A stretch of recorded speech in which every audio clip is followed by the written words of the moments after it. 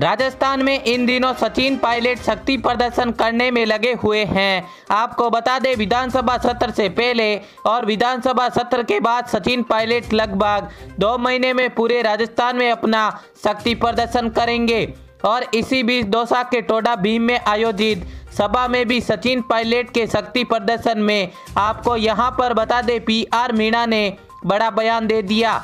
P R Meena ने कहा कि अब कमान सचिन पायलट के हाथ में दे देनी चाहिए।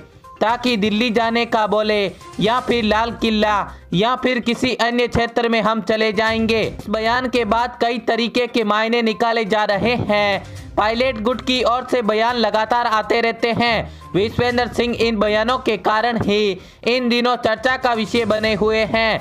ऐसे में सचिन पायलट को लेकर, आने वाले इन बयानों को लेकर क्या नई ताज़ा अपडेट देखने को मिलेगी? किस तरह से सचिन पायलट के इन बयानों पर बातचीत हो रही है? किस कारण से सचिन पायलट के इन बयानों को लेकर तरह तरह की बातें सामने आ रही है? ऐसे में यहाँ पर कई तरह की महत्वपूर्ण बातें और खबरें भी सामने आती है। ऐसे में दोस्तों, तमाम खबर पाने के लिए हमारे साथ बने रहे। और वीडियो अच्छा लगा तो शेयर और अपनी राय कमेंट बॉक्स में ज़रूर दें।